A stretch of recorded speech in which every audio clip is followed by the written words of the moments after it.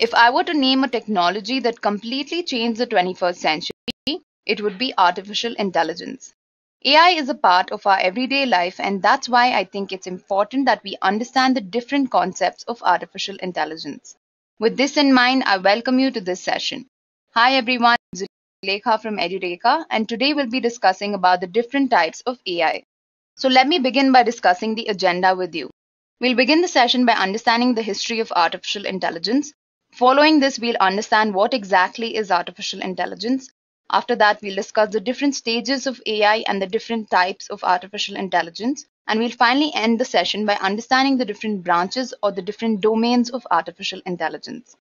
I hope all of you are clear with the agenda. So now let's get started with the first topic, which is history of artificial intelligence. The concept of AI goes back to the classical ages. Under Greek mythology, the concept of machines and mechanical men were well thought of. An example is Talos. Talos was supposedly a giant animated bronze warrior who was programmed to guard the island of Crete. Now let's get back to the 19th century. In 1950, Alan Turing proposed the Turing test. The Turing test basically determines whether or not a computer can intelligently think like a human being. The Turing test was the first serious proposal in the philosophy of artificial intelligence. 1951 marked the era for game artificial intelligence. This period was called game AI because here a lot of computer scientists developed programs for checkers and for chess. However, these programs were later rewritten and redone in a better way. 1956 marked the most important year for artificial intelligence. During this year, John McCarthy first coined the term artificial intelligence. This was followed by the first AI laboratory, which was set up in 1959. MIT AI Lab was the first setup, which was basically dedicated to the research of AI.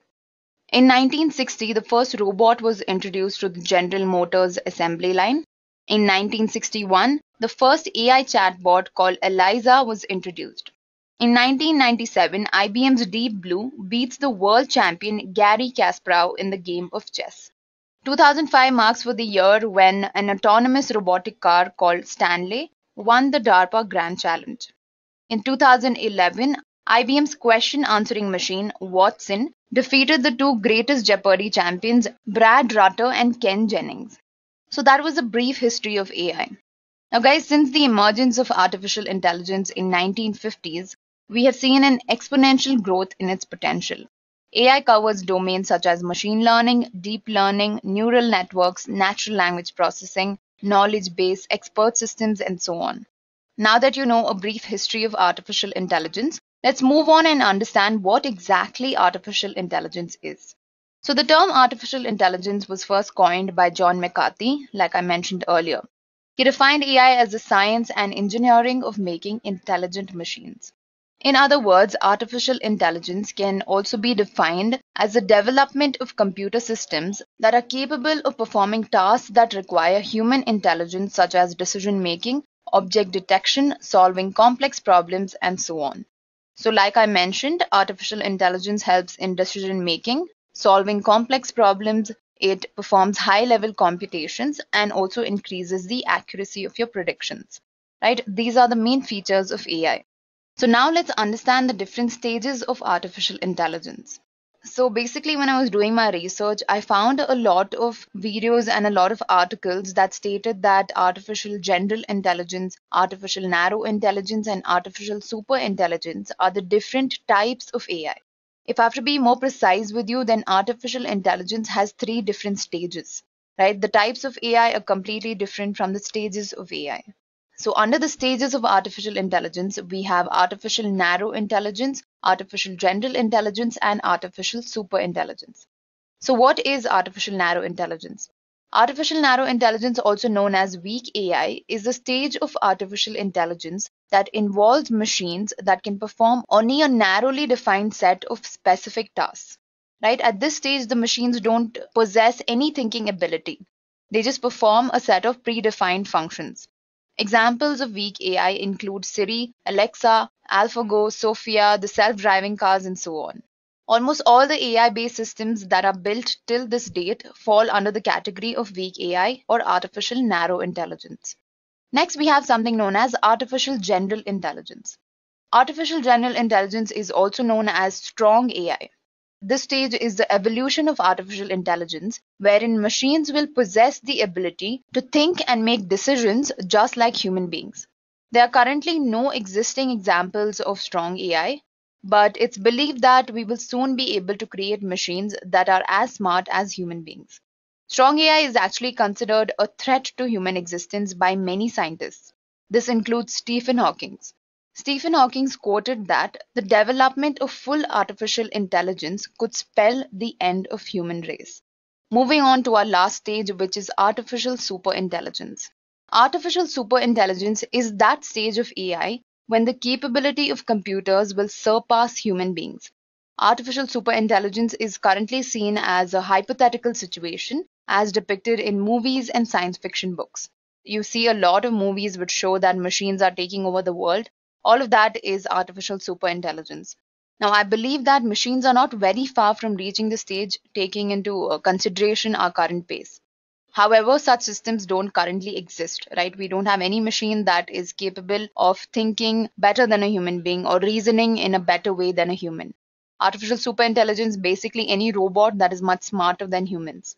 Now, moving on to the different types of artificial intelligence. Based on the functionality of AI based systems, artificial intelligence can be categorized into four types.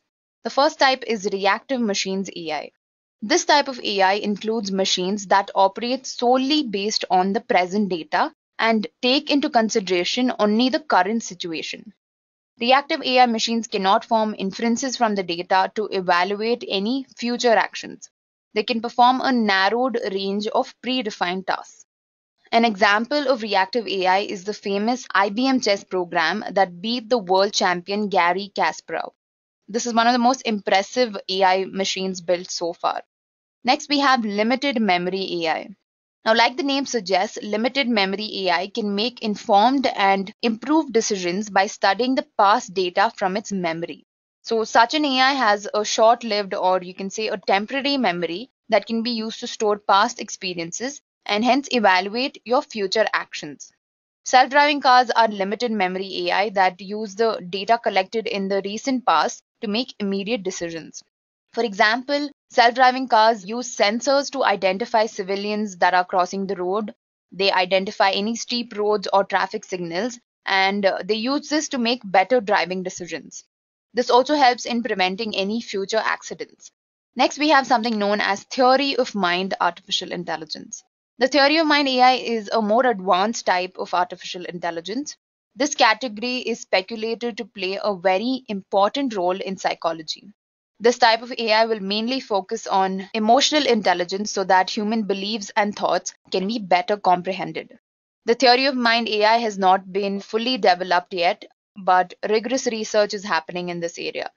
Moving on to our last type of artificial intelligence is the self aware artificial intelligence. So, guys, let's just fold hands and pray that we don't reach the state of AI where machines have their own consciousness and become self aware. This type of AI is a little far fetched, but in the future, achieving a stage of super intelligence might be possible. Geniuses like Elon Musk and Stephen Hawking have constantly warned us about evolution of AI. So guys, let me know your thoughts in the comment section. Do you ever think we'll reach the stage of artificial super intelligence? Moving on to the last topic of today's session is the different domains or the different branches of artificial intelligence. So artificial intelligence can be used to solve real world problems by implementing machine learning, deep learning, natural language processing, robotics, expert systems, and fuzzy logic. Now guys, these are the different domains or you can say the different branches that AI uses in order to solve any problem. Recently, AI has also been used as an application in computer vision and image processing. Right, for now, let me tell you briefly about each of these domains. Machine learning is basically the science of getting machines to interpret, process, and analyze data in order to solve real world problems. Right, under machine learning, there's supervised, unsupervised, and reinforcement learning. If any of you are interested in learning about these technologies, I'll leave a link in the description box. You all can go through that content. Next, we have deep learning or neural networks. So deep learning is a process of implementing neural networks on high dimensional data to gain insights and form solutions. It is basically the logic behind the face verification algorithm on Facebook. It is the logic behind the self-driving cars, virtual assistants like Siri and Alexa. Then we have natural language processing. Natural language processing refers to the science of drawing insights from natural human language in order to communicate with machines and grow businesses. So an example of NLP is Twitter and Amazon. Twitter uses NLP to filter out terroristic language in their tweets. Amazon uses NLP to understand customer reviews and improve user experience. Then we have robotics. Robotics is a branch of artificial intelligence which focuses on the different branches and applications of robots. AI robots are artificial agents which act in the real world environment to produce results by taking some accountable actions. So I'm sure all of you have heard of Sophia. Sophia the humanoid is a very good example of AI in robotics. Then we have fuzzy logic. So fuzzy logic is a computing approach that is based on the principle of degree of truth instead of the usual modern logic that we use, which is basically the Boolean logic. Fuzzy logic is used in medical fields to solve complex problems which involve decision making. It is also used in automating gear systems in your cars and all of that. Then we have expert systems. An expert system is an AI based computer system that learns and reciprocates the decision making ability of a human expert. Expert systems use if then logic notions in order to solve any complex problem. They do not rely on conventional procedural programming. Expert systems are mainly used in information management. They are seen to be used in fraud detection, virus detection, also in managing medical and hospital records, and so on. So, guys, to sum it up, these were the different branches of artificial intelligence. AI is actually a very vast field, and if you want to learn more about artificial intelligence, I'll leave a couple of links in the description box. So, guys, that's all for today. I hope all of you enjoyed this session. Until next time, happy learning.